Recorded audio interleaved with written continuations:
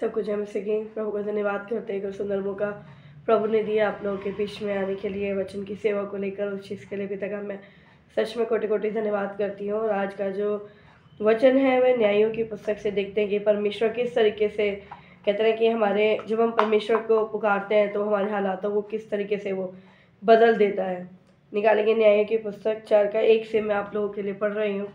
जहाँ लिखा है, जब अहूद मर गया था, तब इसराइलियों ने फिर यह हवा की दृष्टि में बुरा किया, इसलिए यहोवा ने उनको वासोर में विराजने वाले कनान के राजा याबीन के अधीन कर दिया, जिसका सेनापति सीसरा था, जो अन्य जातियों के रोशित का निवासी था। तब इसराइलियों ने यहोवा की दुहाई दी, क्योंकि सीसरा के पास लोहे के 900 रथ थे और वह इसराइलियों पर 20 वर्ष तक बड़ा अंधेर करता रहा। यहाँ पर क्या लिखा? यहाँ पर दबौर और बराक के चरित्र से हम उसके करेक्टर से देखेंगे कि किस तरीके से ये करेक्टर उस समय जब काम किया वो आज के हमारे जीवन में भी क्या करता है, वही चीज़ें सेम काम करती हैं। परमेश्वर हालातों को बदलता है। जब जब इसराइलियों ने परमेश्वर के अगेंस्ट काम किया, तब तक उनको मुँह की खानी पड़ी थी। यहाँ पर भी क्या लिखा कि जब एहूद मर गया मतलब जब तक परमेश्वर अपने न्यायियों को वहाँ पर नियुक्त करता था उन उन लोगों के ऊपर, तब तक वो सही चलते थे। लेकिन जैसे न्यायी का देहांत हुआ, वो चलायमान हुआ, उसका, उसके बाद से फिर से वो बाल देवताओं की ओर झुक जाते थे और फिर वही करप्शन में आ जाते थे। और परमेश्वर के खिलाफ क्या करते थे? उनके विरोध में काम करना शुरू करते थे, जब वो सब चीज़ भूल जाते थे कि किस तरीके से परमेश्वर ने उनका साथ दिया था, किस तरीके से परमेश्वर ने उनको हर बार बंधुआई से निकाला और फिर वो हर बार हर बार क्या करते थे? वापस से परमेश्वर के अगेंस्ट काम करते थे। यहाँ पर भी वही चीज़ देखने को मिलती है कि यहाँ पर लिखा जब अहूद मर गया तो इसराइलियों ने फिर से यहोवा की दृष्टि में क्या करा? फिर बुरा किया। फिर से मतलब ये चीज़ बार बार कंटिन्यूसली इसराइली कर रहे थे। बार बार गलतियाँ करते थे, बार बार दुहाई देते थे। परमेश्वर फिर उनको संभालता था, फिर उन्हें छुड़ाता था। फिर फिर कोई जब परमेश्वर उनके ऊपर न्याय नियुक्त करता था, जब वो यहाँ से चला जाता था, उनको छोड़ देता था तो फिर वो फिर से उन्हीं चीज़ में करप्शन में वो बार बार चले जाते थे। वहाँ पर वो एक स्टेबिलिटी नहीं आ रही थी इसराइलों के बीच में कि अब परमेश्वर ने हमें रास्ता दिखा दिया तो हमें इसी रास्ते को क्या करना है फॉलो करना है। हमारे न्यायियों ने हमें रास्ता दिखाया है तो हमें उसी चीज़ को फॉलो करना नहीं। और जब तक कोई उनके ऊपर सीनियर रहता था, तब तक ठीक चलते थे। जहाँ सीनियरिटी हटी, जहाँ न्याय हटे, वहाँ फिर से वो उस गड़बड़ के अंदर घुस जाते थे। और यहाँ पर भी क्या लिखा?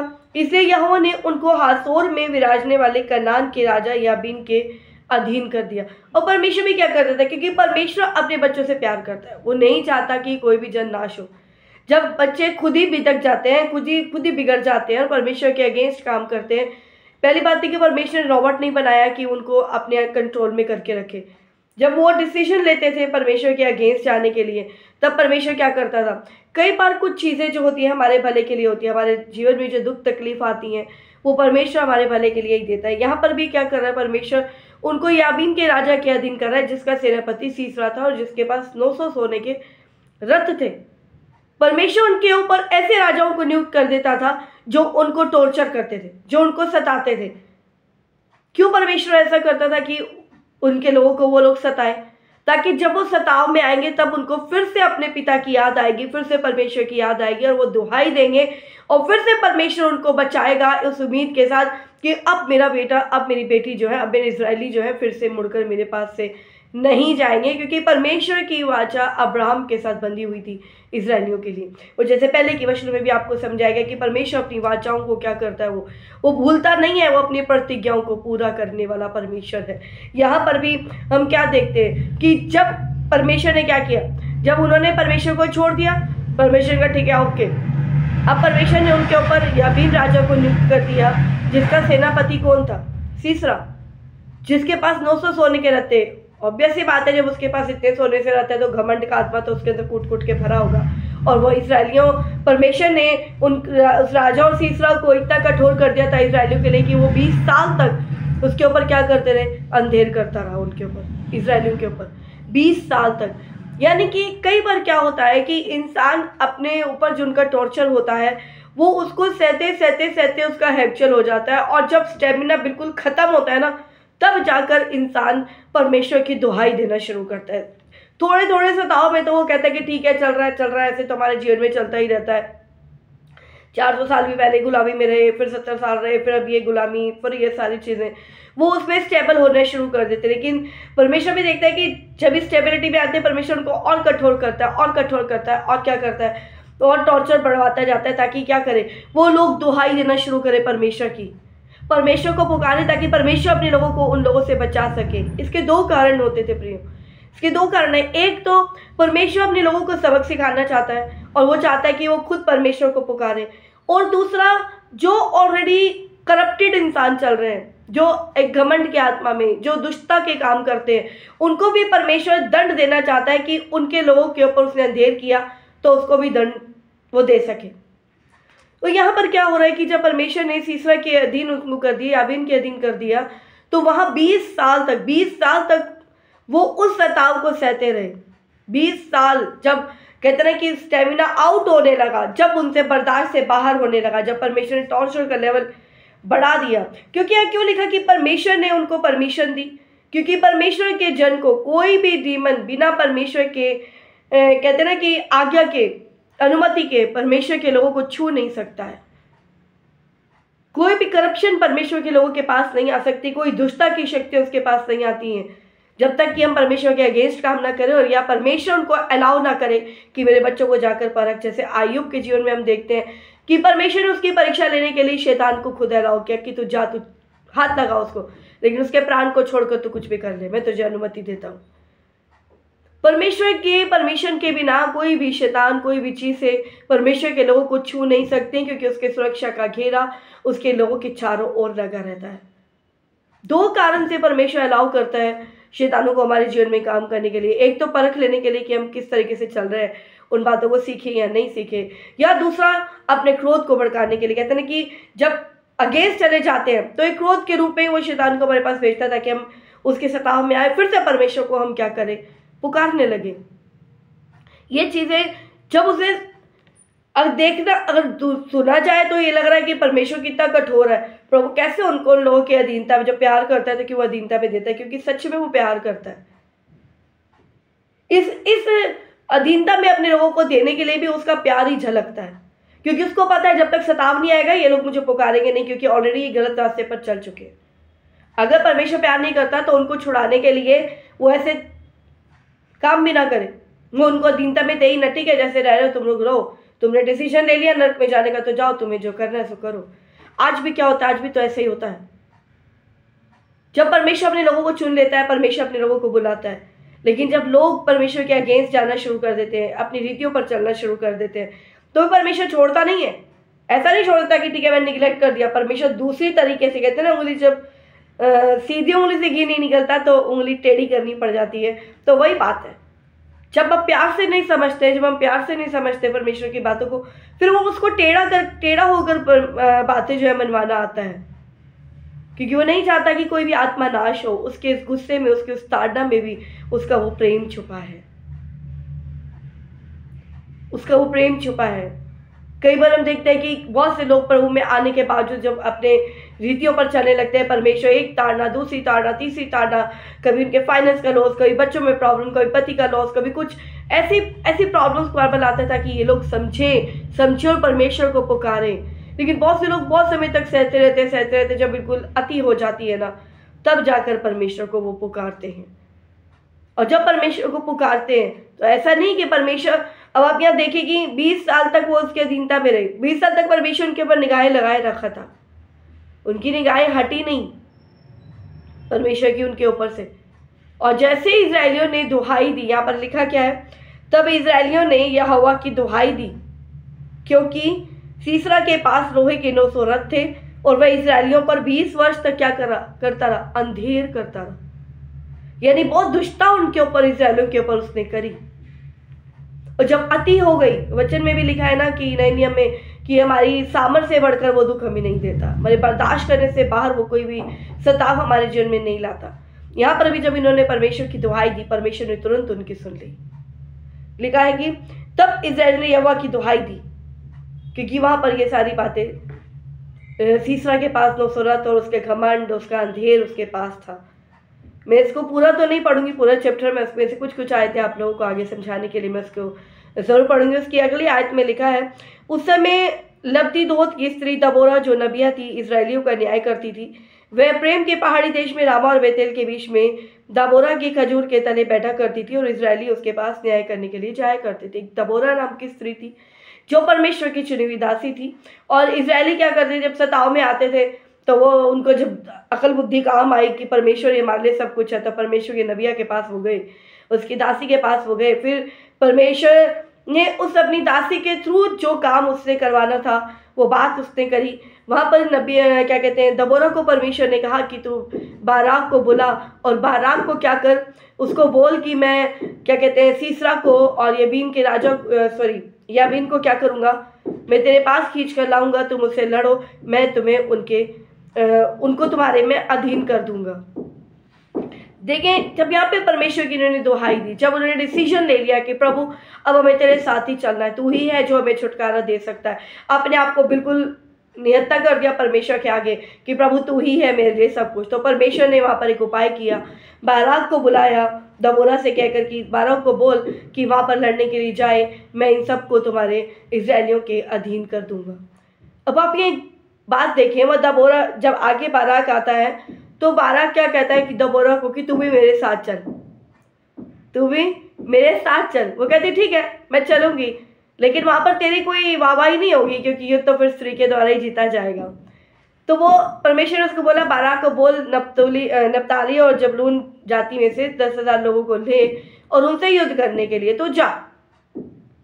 और जैसे ही वो लोग वहाँ पर जाते हैं इसकी अगली आयत में, इसके आगे की आयत में, यहाँ पर लिखा है चौदहवीं आयत में, तब दबोरा ने बाराक से कहा उठ, क्योंकि आज वो दिन है जिसमें यह हवा सीसरा को तेरे हाथ में कर देगा। क्या यह हवा तेरे आगे नहीं निकला है? दबोरा उसको कहती है, उठ और अब जा, क्योंकि यह हुआ उनको तेरे अधीन कर चुका है। तो लड़ने के लिए जा। यहाँ पर उन्होंने क्या किया? वही इसराइली थे। जो सीसरा के अधीन थे। सीसरा उनके ऊपर अंधेर कर रहा था, उनके ऊपर करप्शन कर रहा था, उनको दबा रहा था, मार रहा होगा, कूट रहा होगा।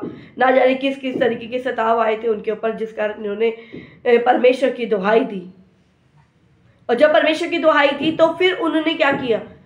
परमेश्वर की दासी के द्वारा जो परमेश्वर ने उनसे कहा, उन बातों के ऊपर उन्होंने विश्वास किया। जब परमेश्वर ने कहा कि बारह को बुलाओ, दस हज़ार लोगों को लेकर जाएगा और क्या करेगा? मैं उनको उसके अधीन में कर दूँगा।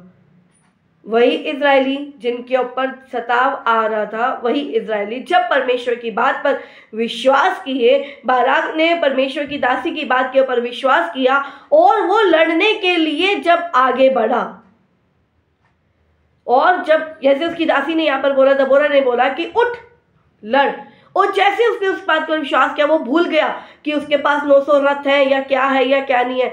या मैं कहूँ कि जब परमेश्वर अपनी सामर्थ को ढेलता है अपने लोगों पर तो फिर आगे की विपत्तियाँ उन्हें विपत्तियाँ दिखती नहीं है। क्योंकि परमेश्वर अपनी हिम्मत, अपने बल, अपनी ताकत उन लोगों में भर देता है और फिर वो फिर आगे के किसी भी सेनाओं को वो देखते नहीं है।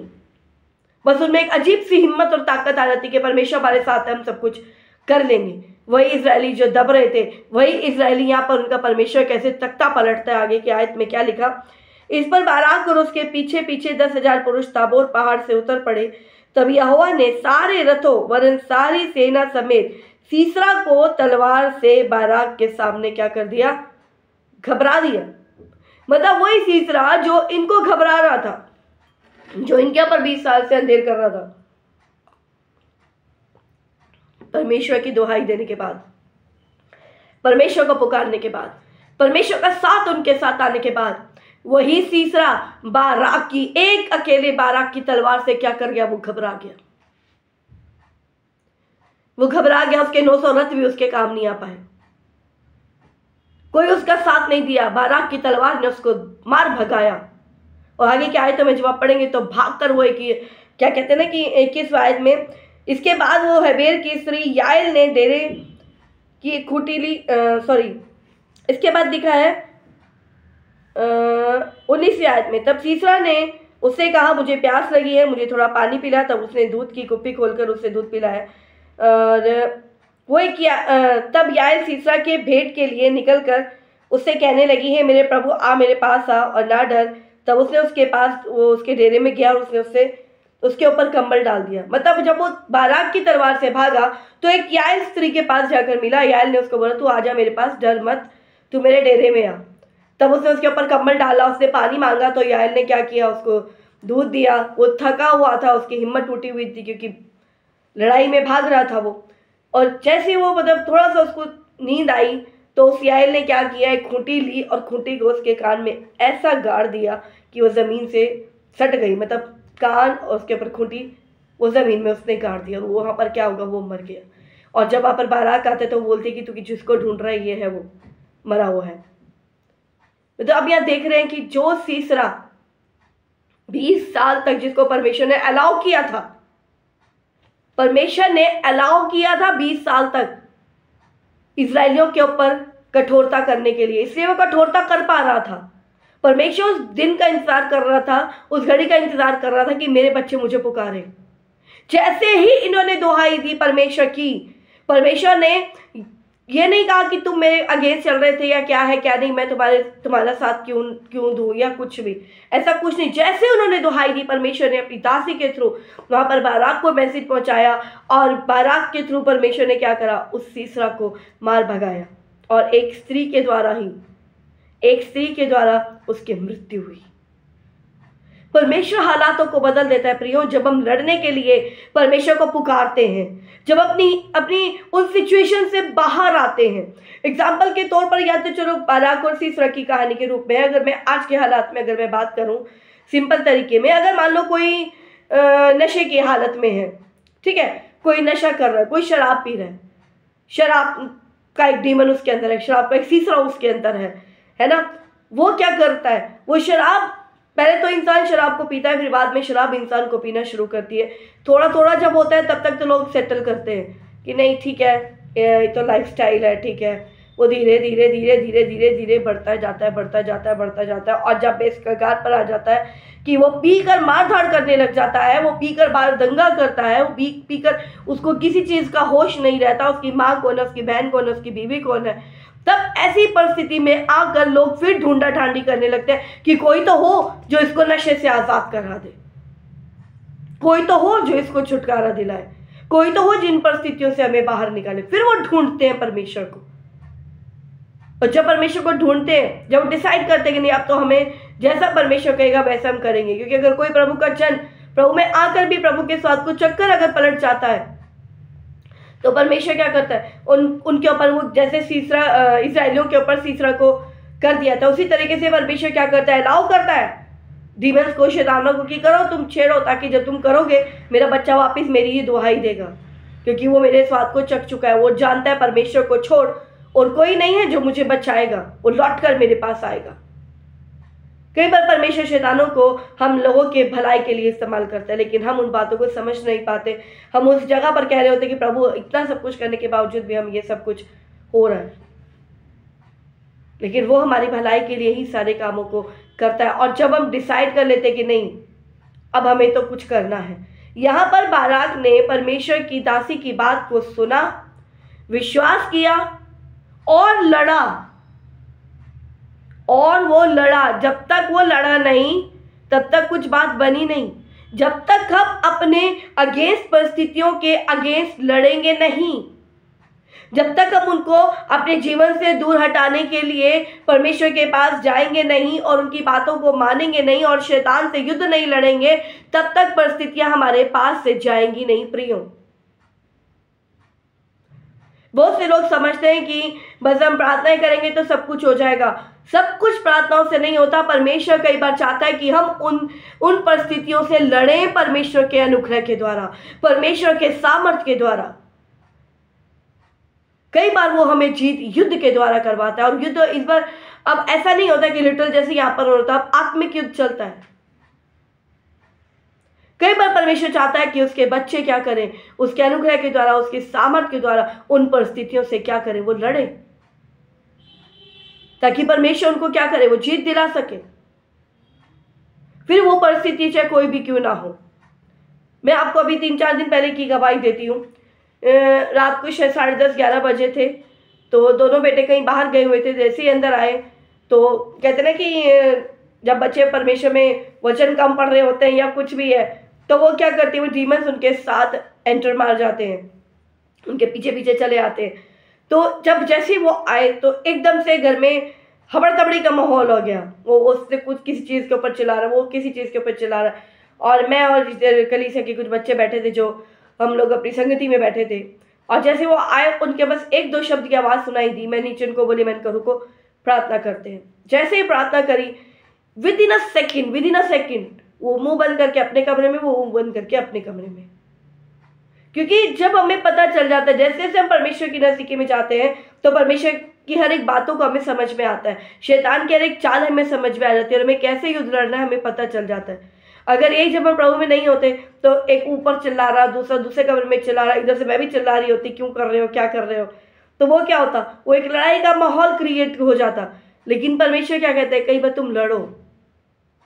जैसे उस डीमन को भगाया कि प्रभु जो भी इनके साथ चलकर आई है, गंदगी उनको यीशु के नाम से भगाती हूँ और प्रभु आपके लहू का बाड़ा हम सबके चारों और इस भवन के चारों लगाती हूँ। तो उसी घड़ी सब कुछ शांत हो गया।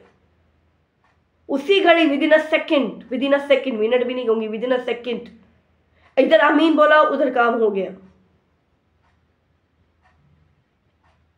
क्योंकि हम जब जब परमेश्वर की दुहाई देते हैं, परमेश्वर उन प्रार्थनाओं को सुनता है और हालात बदल देता है। हालात बदल देता है। जब हम परमेश्वर में नहीं आए थे, अगर मैं अपनी बात करूँ, तब जब परमेश्वर में नहीं आई थी, मेरे हालात बद से बदतर चल रहे थे, क्योंकि डाइवोर्स के चलते लोगों ने बहुत बातें सुना सुना के आदत वैसी मार रखा था। फिर किसी और एक व्यक्ति के साथ रिलेशन था, जिसके साथ मैं सोच रही थी कि शादी हो जाएगी, लेकिन वो परमेश्वर की इच्छा नहीं थी तो परमेश्वर ने उस चीज़ से मुझे आज़ाद किया। प्रभु का मैं धन्यवाद करती हूँ उन बातों के लिए, क्योंकि अगर हो जाती शादी तो मैं आज इस तरीके से सेवा ना कर रही होती। क्योंकि कहीं ना कहीं रिस्ट्रिक्शंस आ जाती हैं। तो मैं प्रभु का उस चीज़ के लिए मैं धन्यवाद करती हूँ हर एक बातों के लिए। तब परमेश्वर को जब परिस्थितियाँ बिल्कुल बस से बदतर हो गई, जब परमेश्वर को ढूंढना चाहा, जब परमेश्वर ने काम किया और प्रभु की बातों के ऊपर जब मैंने विश्वास करना शुरू किया तो उस युद्ध को लड़ा तो आज परमेश्वर ने जयवंतों पे जयवंत करके क्या कर दिया? वो खड़ा कर दिया। कई बार प्रार्थनाओं के द्वारा युद्ध जीते जाते हैं, कई बार परमेश्वर कहते हैं कि तुम प्रार्थना करो और युद्ध के लिए अपने कदम को बढ़ाओ। अगर हमें कुछ चाहिए तो हमें आगे बढ़ना होगा। हमें परमेश्वर की बातों पर विश्वास करके हमें आगे बढ़ना होगा। हमें अपने युद्ध को लड़ना होगा। आत्मिक युद्धों को हमें लड़ना होगा। और कई बार क्या होता है, आत्मिक युद्ध लड़ते हुए जब हम एक मुक्का मारते हैं तो सामने से भी पलटवार आ जाता है। तो जब पलटवार आता है तो बहुत से लोग बैठ जाते हैं कि नहीं नहीं नहीं, ऐसा नहीं।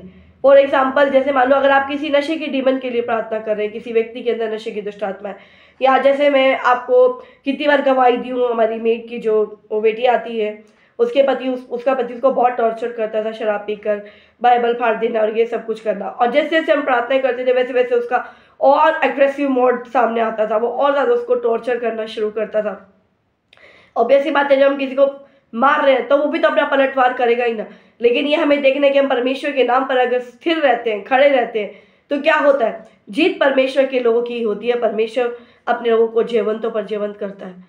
और आज वही बेटी है, वही वो बे, उसका पति है। इतने प्यार से, इतने अच्छे से रहते हैं। अब कोई ड्रिंक नहीं, कोई कुछ नहीं। वो नशे का डीमन जब गया, उस आत्मिक युद्ध में जब परमेश्वर ने अपने लोगों को जीत दिलाई तो वही पति और पत्नी बड़े प्यार से रह रहे वो बड़े प्यार से रह रहे हैं। वो कभी, वो कहते हैं ना, वो पति मेरे तो बिल्कुल अगेंस्ट रहता था। आज वो पति, वो मेरे लिए चिकन बना के ला रहा है। क्या दीदी को चिकन खिलाएँगे?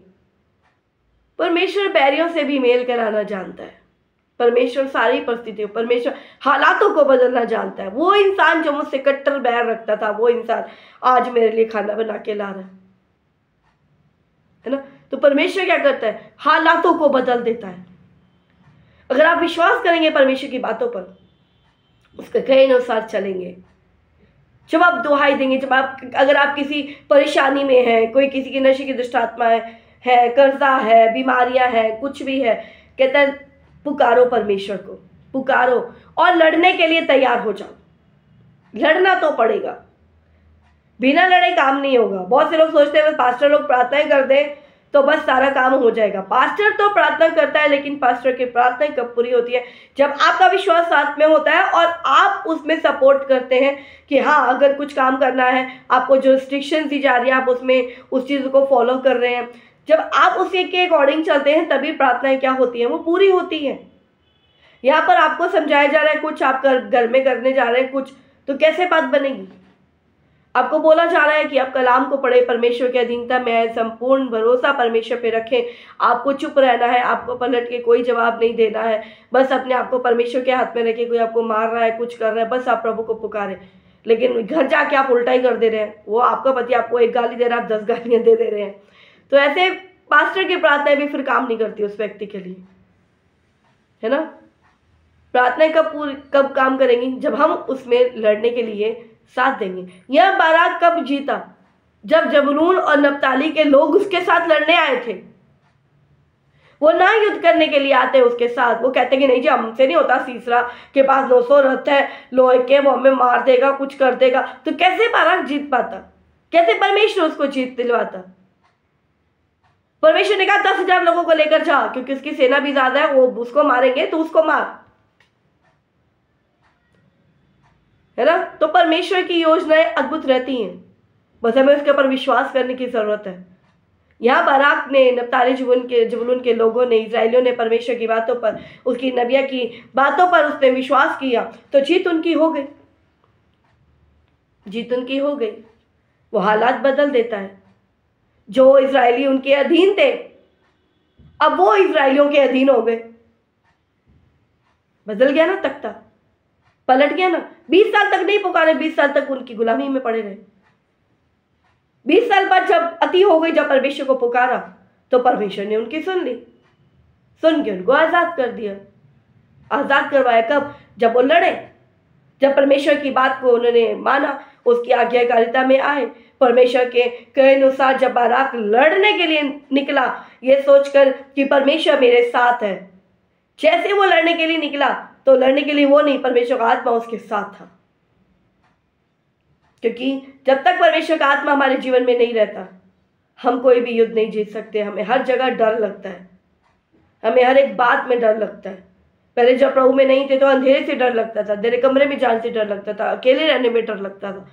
लेकिन आज वो समय है, जब परमेश्वर में आते हैं तो परमेश्वर डर के आत्मा को हटा देता है। पहले जिनको हम भूत बोलते थे कि कहते ना कि भूत है भूत है लेकिन अब परमेश्वर में आए जब समझ में आता है। पहले हम भूत से डरते थे। बाइबल उसको दुष्ट आत्माएँ कहती हैं। है ना? पहले हम उनसे डरते थे, लेकिन जब प्रभु में आए तो वो हमसे डरती हैं। वो परमेश्वर के लोगों से डरती हैं कि कहीं वो ना आ जाए, बंदा या बंदी, फिर प्रार्थना करके भगा देगा हमें। तो प्रियो, प्रभु हालात बदलता है। अगर मैं भी अपने जीवन की गवाही लूँ तो प्रभु में आने से पहले मेरी, मेरे हालात बद से बदतर थे। मरने की कगार पर खड़ी थी। लेकिन परमेश्वर के आने के बाद मेरे हालात बदल गए। मेरे हालात बदल गए। प्रभु ने तख्ता पलट दिया मेरे जीवन का। जिन बीमारियों के, जिन कितना दुखों में, जिन बातों के अधीन में थी, उन दुष्ट आत्माओं के अधीन में थी, आज परमेश्वर ने उनको मेरे पाँव तले कर दिया। पाँव तले कर दिया, क्योंकि वो हालात बदलता है। प्रियो, परमेश्वर पे विश्वास रखें। परमेश्वर को पुकारें हर एक परिस्थिति में, हर एक परिस्थिति में उसको पुकारें। और जैसा वो कहता है, वैसे करें। तो सच में हालात बदल देगा आपके भी। आज कोई भी हालात आपके जीवन में क्यों ना हो, कैसे भी हालात क्यों ना हो, आप एक बार पुकार कर देखिए परमेश्वर की बातों पर विश्वास करें। जैसा वो कहता है, वैसा आप करें। तो सच में आपके भी हालात वो बदलेगा। क्योंकि वो चाहता है हालात बदलना। तभी तो वो बातें करता है। तभी तो वो एग्ज़ाम्पल देता है आप लोगों के बीच में। कि देख मेरा बेटा, मेरी बेटी, मैंने उन लोगों के हालात बदले तो मैं तेरे भी हालात बदलना चाहता हूँ। तू पुकार तो सही। तू मेरी ओर आ तो सही। मुझे परख तो सही। देख मैं करता हूँ कि नहीं करता। तू तो निहार रहा है कि आए मेरा बेटा, मेरी बेटी मेरे पास, और मैं उनको आज़ाद करूँ एक बंधनों से। लेकिन करने के लिए हमें एक कदम बढ़ाना पड़ेगा। परिस्थितियों को देखकर हमें डरना नहीं है, उन परिस्थितियों में एक कदम हमें आगे बढ़ाना पड़ेगा। परमेश्वर की बातों पर विश्वास रखते हुए। जैसे यहोशु यर्दन नदी जब पार कर रहा था, जब तक वो पानी दो भाग नहीं हुआ, जब तक इसराइल यहोशु ने अपने पाँव पानी में नहीं रखे, जैसे ही पाँव उसने पानी में रखा, वो क्या हुआ? यर्दन नदी दो दो फाड़ हो गई थी। उस समय दो फाड़ हो गई थी। तो जब तक आप परिस्थितियों में अपने पाँव को आगे नहीं बढ़ाएँगे, युद्ध में लड़ेंगे नहीं, तब तक जीत हासिल नहीं होगी। लड़ना तो होगा, है ना? तो लड़ें अपनी अधिक परिस्थितियों से और उसको बोलेंगे मैं यीशु के नाम से आता हूँ। और माने उसकी आज्ञाओं को चले वैसे जैसे परमेश्वर का आत्मा चाहता है है ना? तो हालात बदल जाएँगे। प्रभु इस वचन के द्वारा आपको बहुत ऐसे आशीष दे, ब्लेस करे। है ना? आइए, प्रार्थना करते हैं। धन्यवाद मेरे पिता परमेश्वर हाले आपका मैं धन्यवाद करती हूँ इस वचन के द्वारा। आपने हम सबसे बातचीत की मेरे पिता। सचमुच आप हालातों को बदलने वाले परमेश्वर है मेरे पिता हाले कैसे इसराइली मेरे पिता सीसरा से बीस साल मेरे पिता उसकी ताड़ना को सहते रहे, लेकिन जब उन्होंने आपकी दुहाई दी मेरे पिता, उसी सीसरा को आपने बाराक की तलवार से मार भगाया और एक स्त्री के द्वारा मेरे पिता आपने उसको मरवा दिया मेरे पिता। आप सच में हालात बदलना जानते हैं मेरे पिता। और मैं विश्वास करती हूँ मेरे पिता, कि जितने भी जन इस वचन को सुन रहे मेरे पिता और अगर कोई मेरे पिता अपने उन दुखों में, तकलीफ़ों में आज पड़े हैं मेरे पिता, और जब वो आपकी दुहाई देते हैं, जब वो आपको पुकारते हैं मेरे पिता तो मेरे पिता परमेश्वर इस बाराक और दबोरा के करेक्टर से जो हम सीखते हैं, उसी तरीके से मेरे पिता परमेश्वर, आप उनके जो हालात अभी उनको नीचे दबा रहे हैं मेरे पिता, जब भी आपकी दुहाई देते हैं मेरे पिता तो उन हालातों को आप उनके पाँव के नीचे कर चुके हैं मेरे पिता। मैं आपका धन्यवाद करती हूँ, क्योंकि असंभव को संभव करने वाले खुदा बनीश्व मसीह, आप है मेरे पिता, हालेलुया। क्योंकि यशोबाद को भी आपने कहा ना कि तू डर मत, युद्ध तेरा नहीं, युद्ध मेरा है। मेरे पिता, हमारा युद्ध हमारे नहीं है। युद्ध तो आपके हमें तो सिर्फ़ आप पे विश्वास करने और प्रार्थनाएँ करनी है मेरे पिता। जब हम ऐसा करते हैं तो सचमुच अद्भुत रीति से हम अपने आप को जयवंत होते हुए देखते हैं। और हर एक जन मेरे पिता आपके नाम में जयवंत हो चुका है मेरे पिता। मैं आपका कोटि कोटि धन्यवाद करती हूँ मेरे पिता। ने वचन तीस, साठ, सौ गुनाहों के हर एक के जीवन में फलवंत होने जा रहा है। सुन के, समझ के, भूलने वाले नहीं, उसके ऊपर चलने वाला आपने हम सबको बना दिया। मैं आपका धन्यवाद करती हूँ। आपका वचन कहता है या वो मेरे लिए सब कुछ पर करेगा, विश्वास करते हैं, अपने ऐसे के धन्यवाद करते हैं। सारी आदर, महिमा आपके आदर में सुबह तो छोटी सी प्रार्थना ईश्वर मसीह के मीठे और मधुर नामे मांगते हैं सुनर ग्रहण करें। अमीन अमीन अमीन कुछ मसीह की।